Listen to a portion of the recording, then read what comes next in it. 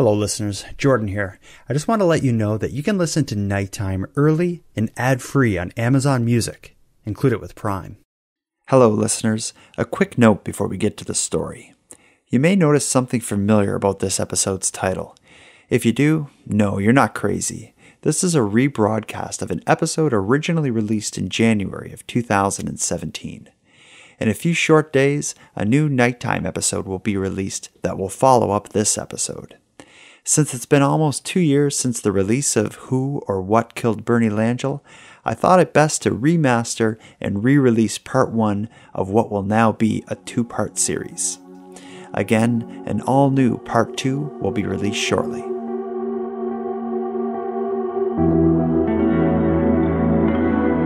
You are tuned to the Nighttime Podcast, focused on the fringe of Canada.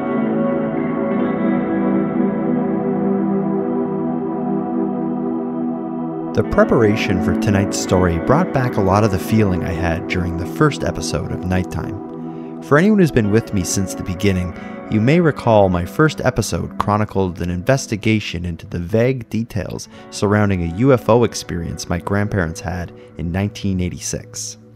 You're about to hear the details of another event affecting one's grandparents. This story, however, ends with a mysterious death, possibly a murder that may or may not be related to the development of secret weapons that were used during the Vietnam War. Obviously, this story is much darker in tone than the one I researched for my grandparents. Before we get into the main content of the episode, I'll first share my introduction to the case with you. Much like many of the other stories I covered, this one was brought to my attention by a listener. In this case, I was sitting down with a coffee and felt my phone buzz from within my shirt pocket. It turned out to be a message from a popular Halifax based retail news and culture blog named Halifax Retails. In essence, the message said this would be a great story for the Nighttime podcast, and he included a link to a series of tweets made by a Halifax resident named Bernie Langille. I clicked the link and found that Bernie Langille was sharing the details of an investigation into his grandfather's mysterious death. Immediately, I was compelled and spent the next hour going through all the details, documents, and the photos that he shared to tell his story. And in the end, I was left agreeing with Halifax Retails this would be a great story for the Nighttime podcast. And immediately, I drafted an email to Bernie inviting him to share his family's story with you. I'm pleased to say our guest tonight is Halifax resident Bernie Langille, who spent a lifetime asking who or what killed my grandfather.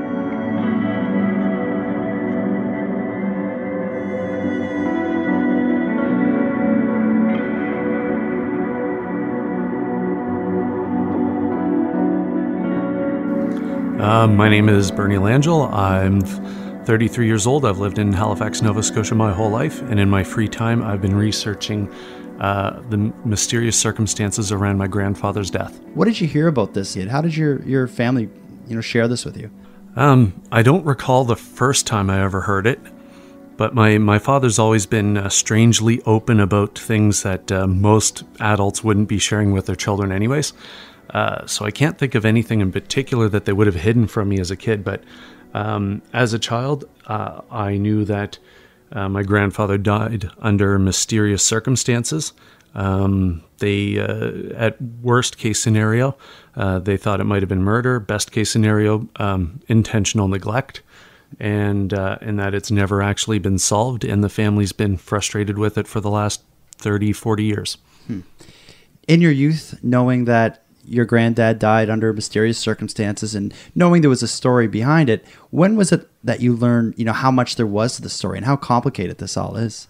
Um once again i don't remember a precise moment hearing the full story but throughout uh, just catching pieces of it as a kid my father would always uh, talk about how um, how his father uh, had been murdered when my father was only 13 years old. His father was 36 and uh, in certain cases, uh, for instance, as a child going to the uh, Shearwater Air Show, we'd be crossing the train tracks to get there, and my father would point out that that's where uh, part of the incident took place.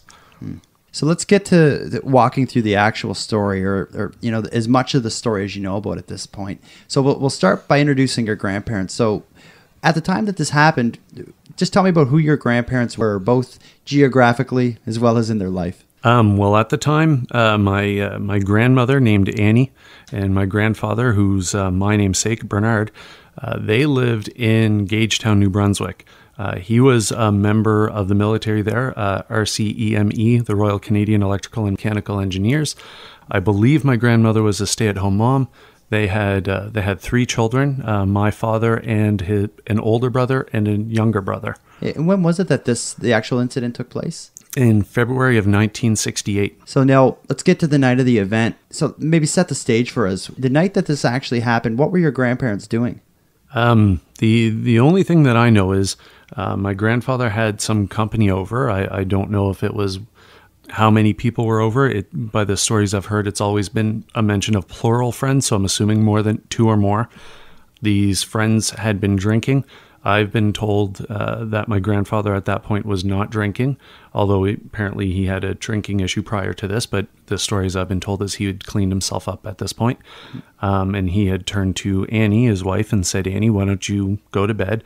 Um, these guys have been drinking. I haven't, so I'm going to drive these home, and I'll and I'll come back to bed when I get home.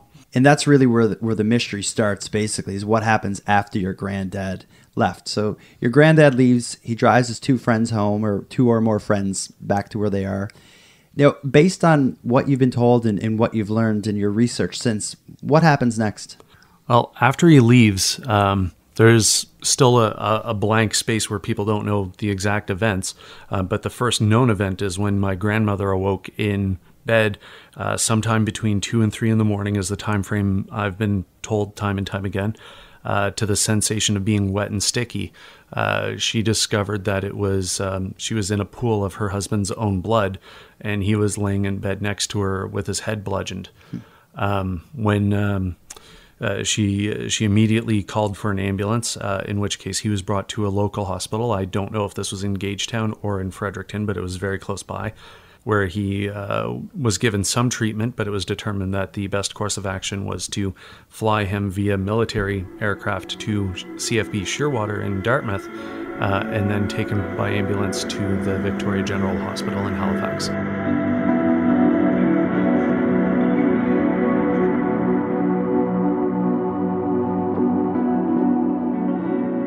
The the next piece of this mystery. So the first thing we've we've encountered so far that's unexplained is what actually happened to your granddad. But now we're already at this next mystery. So as I understand it, your your granddad arrived in in Shearwater, got in the ambulance on his way to the VG hospital in Halifax.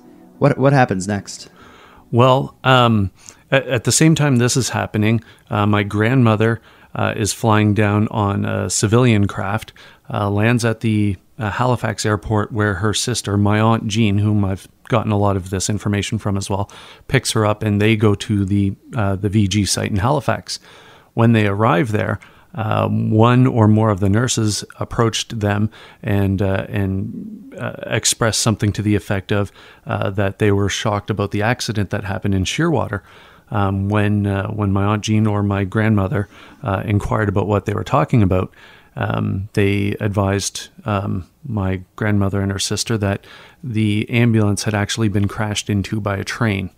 Um, uh, shortly after that, they they were able to see my grandfather, who hadn't yet passed from his injuries, um, and the description is that he was uh, completely mangled by um, some of the debris from the the ambulance crash. But he was still he'd still made it to the hospital alive. He was still alive. Wow after arriving at the hospital, what do you know about his time there? About the you know the care he received, what they were doing? In terms of his care at the VG site, uh, I don't know anything about the quality of it other than he uh, he passed three days later. Um, it was during this three day period uh, that some news had come out from Fredericton um, about how his treatment was while he was in the hospital in that area. Yeah, and now this is the the third mystery. So number one, is what happened to give him his injuries in the first place. Number two is, you know, the the story of the ambulance getting hit by the train is just bizarre. But now, when your parent again, when your your grandmother is in the hospital in Halifax, when she learned about his time in the hospital in Fredericton, was that after he had passed? I get the impression um, that it was either immediately after he passed or in the three days prior to when he was still hospitalized in Halifax. Okay, so tell us what your grandmother had learned about your granddad's time at the hospital in Fredericton. Um, the the news story that uh, that um, my uh, my great aunt Jean uh, explains to me is that um, uh, there was a news story that came out in Fredericton uh, where one of the uh, nurses came to the media outlets um, to express concern that she had witnessed a doctor assaulting an injured soldier, um, saying something to the effect of "You're going to die today." Huh. That's bizarre. So the the unexplained injuries that brought him to the hospital the attack by a doctor that, for what you know, appears to be an unprovoked attack to a seriously injured man, to be hit by an ambulance, to hit, for the ambulance to hit by a train on the way to Halifax, it has the makings, uh, you know, of a, of a movie. Although it's very unfortunate, every every piece of it. We'll start now getting into the actual details of the story. I, I understand you you've been trying to piece this together and you know and find more find more information about what happened. Who, who is it that you've you've gotten all these details from up to this point? A lot of it from my own father and his two brothers, uh, his younger brother, which uh, Larry has passed, and then a lot from my aunt Jean. Like I said, my my great aunt Jean, I suppose, uh, my grandmother's sister, who's still alive. Mm-hmm.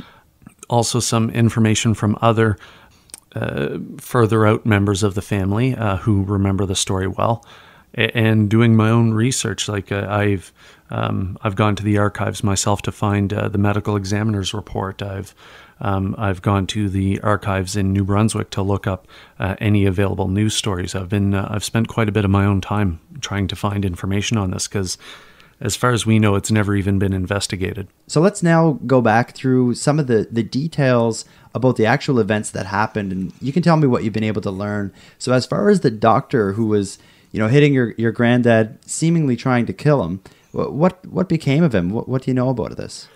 Well, um, I, I, spoke to my aunt Jean about this because uh, uh, once again, where she was looking after uh, my grandmother shortly after this happened, she had most of the details.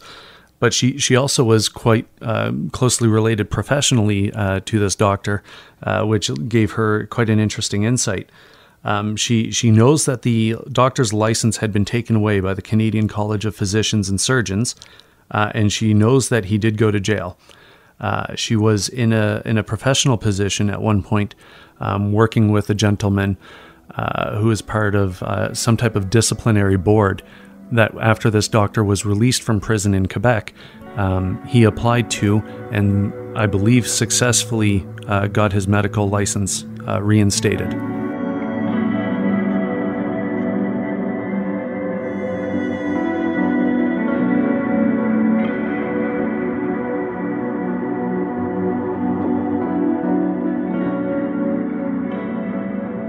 Now to the to the train crash. I understand there's there's a few stories about what happened with that. And again, this is the ambulance that was transporting your granddad from Shearwater to the VG hospital in Halifax. What did you uncover about that? I never found any other information about it other than uh, there's an enormous number of people in my family and outside of my family that can attest to the fact that it happened. Um, the details around it are a little blurry. Some people have said or have indicated that the ambulance driver was intoxicated and crashed into the train. And some of the claims have gone as far as he abandoned the ambulance on the train tracks and the train smashed into it while it was abandoned. Uh, other than that, I haven't been able to find any type of record of it. So, now to the actual injuries or, or whatever happened that led to your grandmother waking up with your granddad injured in the bed with her. Do you have any idea what had happened? Did they look into his friends? Do you know who they are? Did, is there been any uh, information on, on what actually caused this to happen? Uh, the only information that uh, that I've been able to find so far, and that anybody knows of, um, is is uh, the the working story is that he uh, either fell or was pushed down the stairs into the basement of their home. Uh, the evidence behind that is that we've we've had photographs and have seen them of the the actual blood going from the basement uh, floor of their stairs up the flight of stairs. Mm-hmm. Um, but the the mysterious sort of thing is wondering how he managed to get himself into bed without disturbing his wife mm-hmm. while unconscious. Has it come out who the friends that your your granddad was driving home were? Do you, do you know who they are, or if they were questioned? I don't have uh, I don't have any of that information. I would presume that uh, that if there was an investigation done, they would have been questioned uh, in some capacity, but I have no actual record of what uh, what capacity that questioning would have been. And you haven't been able to uncover any documents related to you know a police investigation or charges aside from you mentioned the doctor. Yeah, the only one that I've been able to find is the medical examiner's report. It, did that give any indication on what caused the injuries? Um, nothing in particular, but it, it mentioned a lot of uh, things that I thought were interesting details to um, to follow up on. It, mentioned a lot of um, very particular details concerning older injuries he had, uh, older scars from surgeries, tattoos he had. It, it described in great detail um, the fact that he had uh, a head injury uh, a massive head injury, and then it went into uh, injuries around the front of his face, fractures around his orbital bones, uh, fractured jaw, uh, stitches on his face, things that you would imagine could have happened from being struck in the face several times by a seemingly angry doctor. Hmm. Or it could have happened from being hit by a train while in an ambulance. The, these are all possible things that could have happened there. Um, but the thing that I thought stood out most to me in, in the medical examiner's report, uh, considering the amount of detail of things that they mentioned, there's absolutely no mention of any sort of wounds or scarring or bruising or fracturing on his hands, wrists, forearms, or elbows. There's no defensive wounds there at all. So, um, which led me to believe that if uh, if there's a, a, fully grown man falling down the stairs that's conscious, he's going to brace himself for the fall. But there's no indication that that happened. So as far as what you uncovered to you know to support that this all even happened, so you have the medical examiner's report, you have the the words of you know so many members of your family, which of course leaves little doubt. You had showed me the obituary. What else have you been unable to, or what else have you been able to uncover? It, this wasn't so much of a of a discovery as um, there's in my family photo albums we have record of there being a memorial trophy named after my grandfather uh, that was awarded to uh, the winning baseball team in a local tournament up in Gagetown, uh, and that was awarded annually for a, at least a couple of years but I don't know when that stopped, and there doesn't seem to be any sort of record of that existing now. I, it's not one of those things that would have existed 40 years into the future, anyways, but I don't know when it stopped, and I can't find any record of it other than family photos of it. So we'll, we'll get into now some of the, I guess, the, the more recent events because when we had first met, uh, I guess a week or two ago, we had a coffee, and you told me the story. From there, I went and did a bit of digging at the archives myself, and I was surprised how little I, I was able to find. So I, I found an obituary that I think is a different one than the one you had originally. I was really trying to just find things that corroborated the whole story. So I was looking for a record of a train crash because I thought that would have been a big new big news if an ambulance gets hit by a train. That would be news today.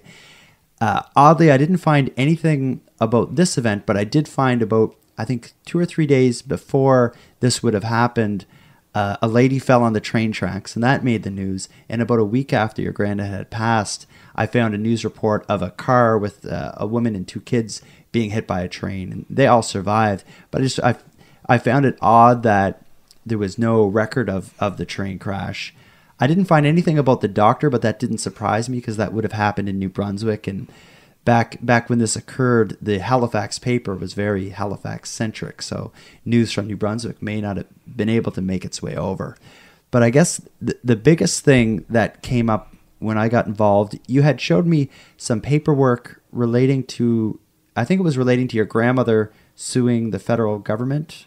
Oh, this this paperwork that I had discovered was um, actually when my uh, when my father and his two brothers tried to sue the federal government um, for uh, damages or for uh, for information pertaining to the investigation into it.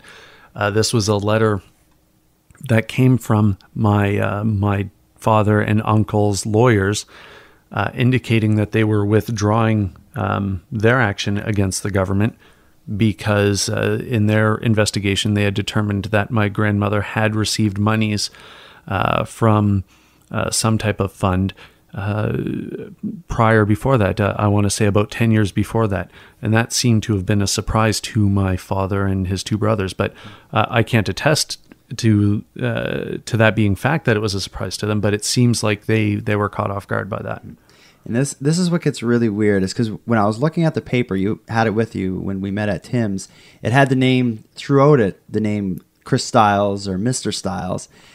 Chris Styles is a, a unique name, and I know one Chris Styles. He was on an episode of, of my show four or five months ago about the Shag Harbor incident. Chris Styles is a famous ufologist the leading researcher of Nova Scotia's Shag Harbor incident. And I think when I had looked at the document, I said, "Oh, weird, the name Chris Styles." I know a Chris Styles is a UFO researcher, and I, if I remember, I think you said I remember my uncle mentioning a friend. Yeah, my um, uh, my my uncle and my father uh, uh, always spoke of their good friend Chris Styles and all the UFO investigation work, investigative work that he would do, uh, including uh, uh, we had home videos of him being on certain shows and some of the investigations that he's done.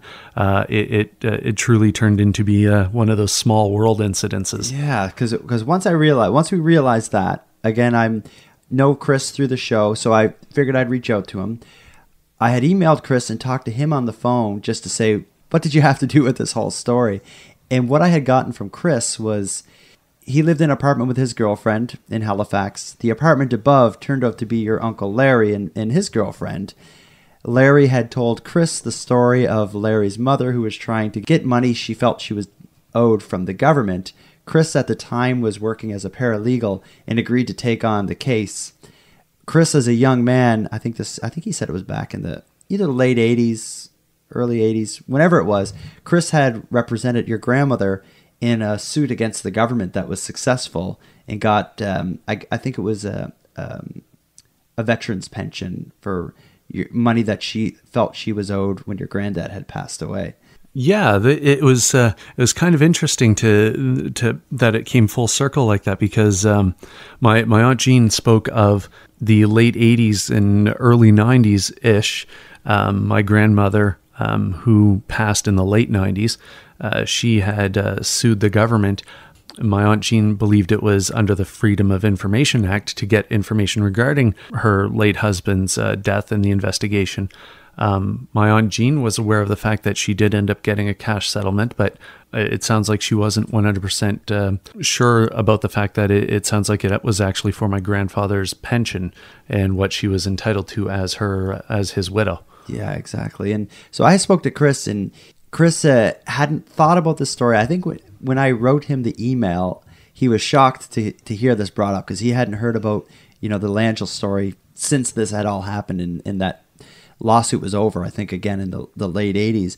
But um, without telling him what you had told me about the story, he told me basically the exact same story about, about your grandfather's injuries, the train crash, the doctor assaulting him, assaulting him. He had all the same details. Only minor differences were Chris's story was um, he thought the ambulance getting hit by the train. What he had learned or what he had believed to be true, was the ambulance stalled on the train track. They couldn't get it out of the way. The train came and hit it. And I think Chris had even told me that the the ambulance attendants managed to get your granddad out, so he was like on a stretcher outside of the ambulance as the ambulance gets plowed by the train. But either either way, it's like all the details. It's like his version was very similar, just subtleties. But I guess even within your family, everybody probably has a subtle twist on on a lot of the details. Well, it's been um, it's been close to uh, fifty years now. So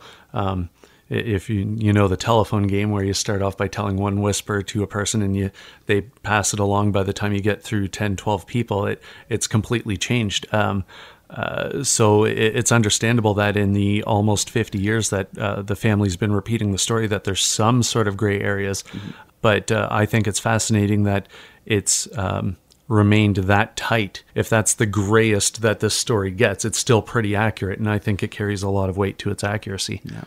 So the thing that Chris had told me that really made me agitated was he had he had told me if you want to confirm the details of the story and know exactly what happened, what you need to find is your uncle Larry's folder. he had told me that everything related to the doctor being going to jail, the um, news newspaper articles about the doctor, uh, stuff he got from the Freedom of Information Act about the doctor getting out of jail, everything about the ambulance accident, as well as doc- uh, documents about the investigation into your granddad's injury. Your your uncle Larry had it all in a big folder somewhere. Turned out though that Larry, your uncle, I believe he had passed away some time ago, Uh, in 2001. and and there's no sign of this folder. Um, not yet. Uh, if he left it to his uh, uh, his widow, I I have no way of reaching out to her. I don't know how I would get in touch with her. I don't even know her last name. I only know her first name is Ivy. There's a there's a slight chance that this folder has been given to my to my uncle Doug. Um, but I've been in touch with uh, that side of the family, and he travels a lot for work, and he's not expected to be home for a while. And when he is home, it's for a brief period of time, and uh, and I'll probably just wait to grab him when he has more time to actually relax and talk about it. And I, I had asked Chris if he, Chris Styles, the ufologist slash paralegal that represented your grandmother, uh, I asked Chris if, he had any record of it. He's going to go through his paperwork and to see if he can find anything. Hopefully, he can go through and find something because I guess the the way I'd be approaching this story because I, I did something similar with my granddad's UFO sighting is I was just trying to corroborate every piece of the story with some kind of fact that can be proven. You've been able to do a lot of it, but there's just so much of it is word of mouth without getting the newspaper articles or or documents relating to the doctor. It's it's hard to find out exactly what happened, but it seems like Larry's folder is you know the answer to all the questions. Uh, it, yes, it it definitely seems like it would have at least most of the answers. Um, and, and I believe you even mentioned to me that uh, Mr. Styles believes he may have even had a photograph of the ambulance crash. Yeah, he had told me he had seen the ambulance crash. I think he described a, a collection of photos, not only about the ambulance crash, but he did mention the one that you mentioned with the blood at the bottom of the stairs at the house. I think he described the layout of the house slightly. Maybe there was some photos in there. I think he even mentioned uh, photos of your granddad's injuries. I could be wrong about that, but he he did say that this folder that Larry had was a big thing that he carried around with him that had everything you'd want to know. I I would imagine my um, my uncle Larry seemed to be a, a bit more passionate about this. He he was the youngest, uh, so um, uh, this would have affected him the most. He, he, my father was only 13 years old. I think that means Larry might have been nine when this happened. Remind me again what year this happened. Uh, this was uh, February in 1968.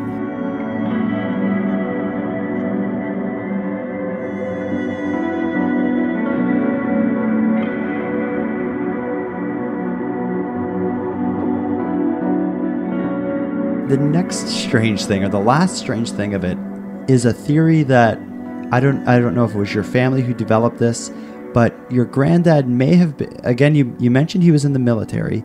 He may have been involved in secret weapons research. Um, I, I wouldn't say involved with, but maybe uh, an accidental witness of.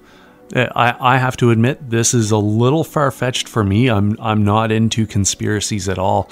Um, I'm I'm usually the guy that sits on the internet and shoots them down and sends link to Snopes articles and stuff and it and and whatnot. But but my uh, my great aunt Jean, uh, her husband, a gentleman by the name of Dick, he uh, he was actually best friends with my grandfather Bernie, and uh, my grandfather uh, was a bit of a, a crazy guy. And at one point in time, he um, he used to steal, uh, or maybe I should say, quote unquote, borrow military uniforms uh, that would fit his best friend Dick. And they'd sneak Dick onto the military base, where my grandfather's job was to tear down and rebuild tanks and jeeps in the field. When um, uh, there was many occasion where they would have to take these vehicles out to test them in the field, and they'd drive them far away from the base, but still on the base, but just far away from the buildings, uh, and they'd break down and have to walk back.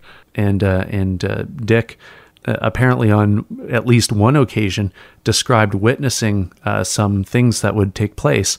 Um, and of course, uh, uh, you fast forward 30, 40 years from now, and it's it's fairly common knowledge now that the American military was uh, testing um, with Canada's approval, testing Agent Orange, Agent White, and Agent Purple in Gagetown. Where, your granddad was stationed. Yes. Yeah. And And at I- that t- at the same time. Yeah, and when you had told me that that there was some talk of Agent Orange, I did just a I won't say research. I googled Agent Orange Gagetown, and there's there's a lot of information. There's people suing the federal government that were in Gagetown around the time of uh, that your granddad was that were exposed to Agent Orange. And for anyone who's unfamiliar, I don't know it well, but Agent Orange was a chemical that was used during the Vietnam War where they could drop it from planes, and it was a, a herbicide. It would basically just kill any plants.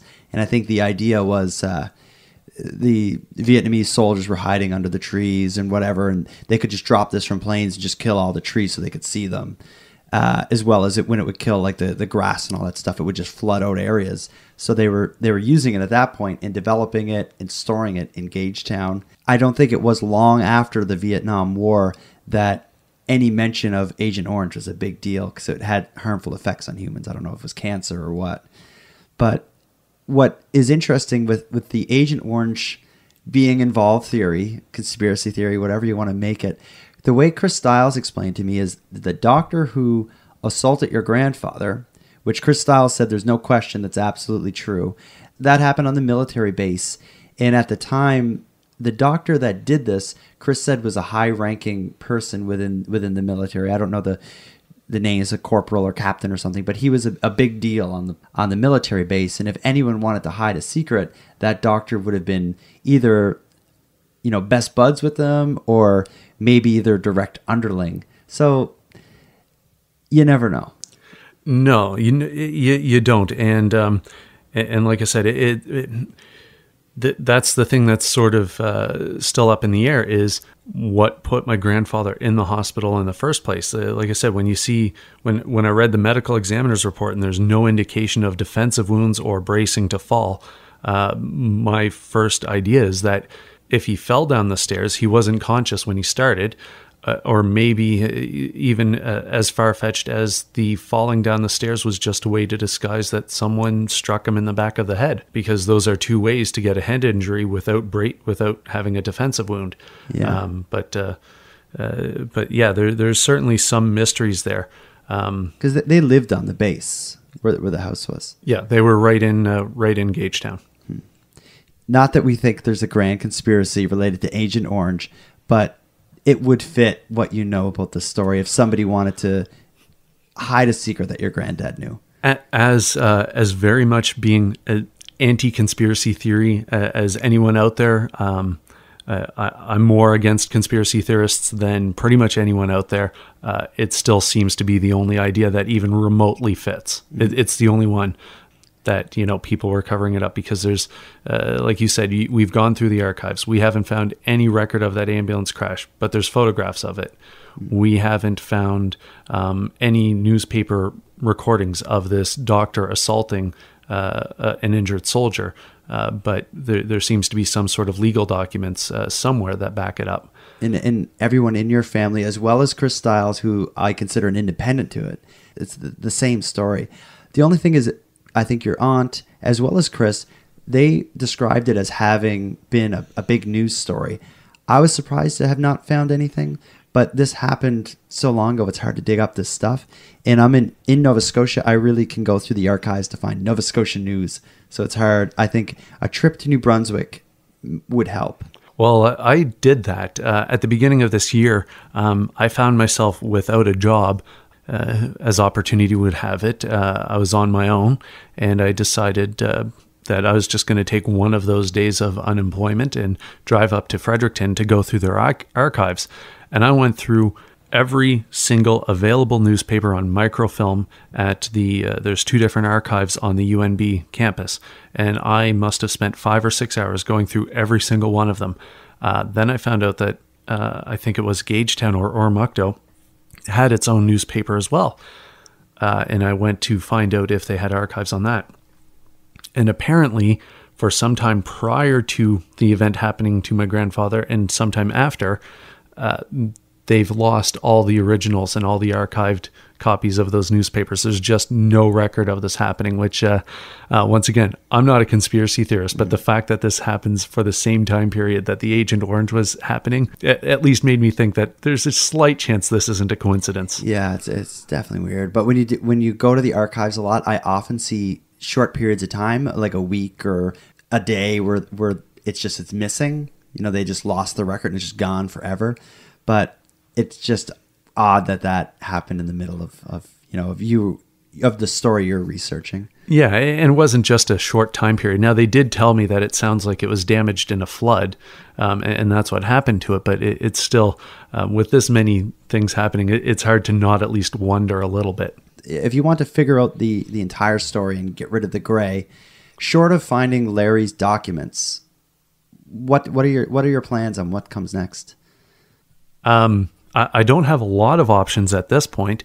Uh, I've been asking anybody that uh, might have remotely been at Engagetown at the time that this happened uh, to see if they had any information. I, I don't expect to find any justice here at all. It's been 40 odd years since this happened.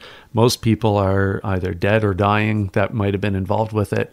Uh, I, I, plan on, I've gone through and found obituaries of my grandfather's siblings to find out that all of his siblings have passed. And we have a very common family name. Uh, so it's hard to uh, determine that I'm finding the right next of kin that might still be alive. So it's, it's hard to find that. Um, in general, I'm going to talk to uh, more family members and, and uh, approach the uh, the Department of National Defense or Veterans Affairs to see if I can get a copy of his service records. And um, if nothing else, I want to find out more about his life. It's a man I'm named after, and I've never got to meet him a lot of my listeners would be from Atlantic, Canada. There is the possibility that somebody out there listening, his grandparents perhaps may have lived there at the time. Gagetown would have been a big military base. Just to repeat it one more time, kind of what is the, the era that this this would have occurred? Um, the it would have been uh, he would have been taken to the hospital February 9th, 1968, and he passed away February 12th, 1968. So if anyone out there has a family member who lived in Gagetown in the late 60s, ask them if they know Bernie Langille. And if they do, get in touch with his grandson, Bernie Langille.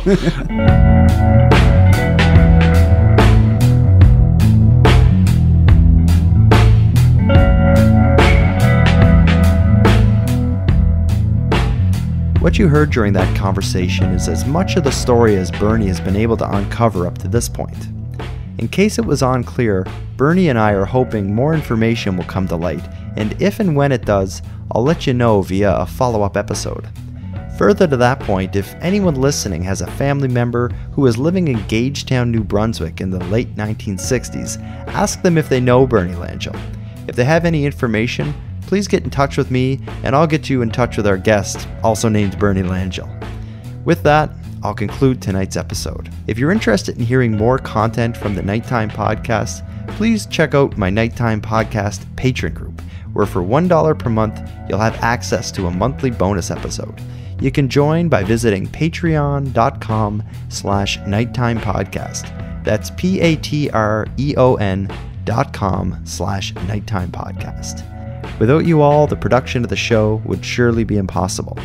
Thanks again for listening to the Nighttime Podcast. Please take a minute and give me a positive rating or review on iTunes or whichever other podcast place you use. Follow me on Twitter and Instagram, where my handle is at Nighttime Pod. If you have anything to say, be it feedback for the show or story ideas, email me nighttimepodcast at gmail.com. I love hearing from you. Until next time, I'm looking forward to talking to you again. The Nighttime Podcast is written, hosted, and produced by Jordan Bonaparte. Copyright Jordan Bonaparte.